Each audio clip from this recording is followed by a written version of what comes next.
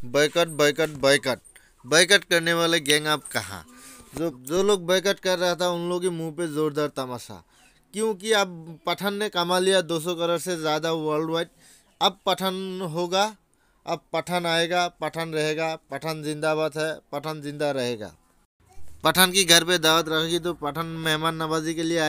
पठान ने अभी जो कमा रहा है, वो हम लोग बॉलीवुड मूवी के लिए फिर से एक नया शुरुआत है। ये बॉलीवुड मूवी जो फिर से ऊपर आ रहा है, बहुत अच्छा लग रहा है देख के। और पठान मूवी मैंने खुद देखा है अगर वीडियो अच्छा लगा तो लाइक शेयर सब्सक्राइब